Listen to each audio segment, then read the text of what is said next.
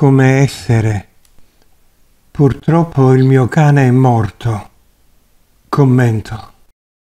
Noi giustamente lo chiamiamo cane perché si chiama così, ma è un'entità incarnata che ha avuto bisogno di quella matrice ancora poco evoluta come essere.